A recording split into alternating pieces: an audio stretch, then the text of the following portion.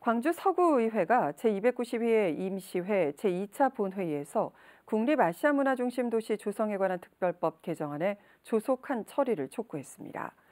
의원들은 성명을 통해 아특법 개정안이 국회 법제사법위원회에서 통과되지 못하면서 문화전당 사업 추진에 어려움을 겪고 있다고 지적했습니다.